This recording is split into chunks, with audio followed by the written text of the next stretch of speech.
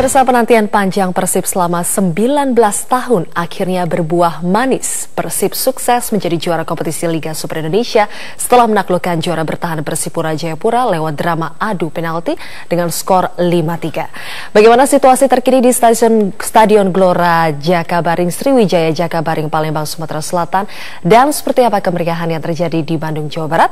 Kita bergabung terlebih dahulu dengan Yan Kakatria di Jakabaring Palembang. Yanka, bagaimana situasi terkini di sana pasca Persib menjadi juara kompetisi Liga Super Indonesia?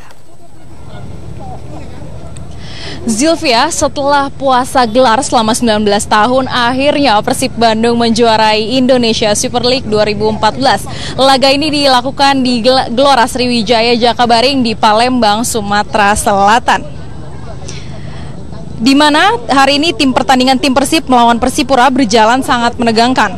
Ketua tim Kedua tim saling membalas serangan sehingga pada akhir pertandingan kedudukan Persipura pada babak pertama dan juga Persib Bandung hanya imbang 2-2. Di babak pertama Persipura memimpin dengan skor 1-0.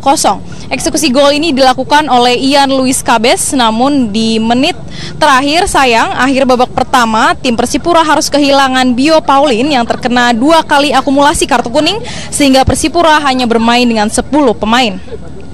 Sebelumnya Persipura juga melakukan gol bunuh diri di gawangnya sendiri yang dilakukan oleh Gerard Pangkali.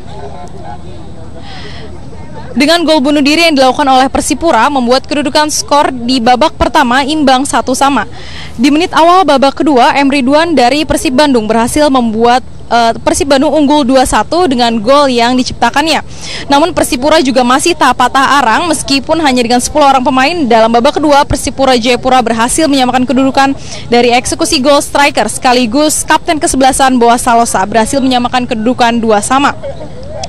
Karena skor yang imbang sampai babak kedua, maka dilakukan perpanjangan waktu. Namun setelah dilakukan perpanjangan waktu juga tidak membuahkan hasil. Akhirnya laga ini dimenangkan oleh Persib Bandung setelah melalui adu penalti dengan skor akhir adu penalti 5-3 dan akhirnya pertandingan ini dimenangkan oleh Persib dengan total skor 7-5.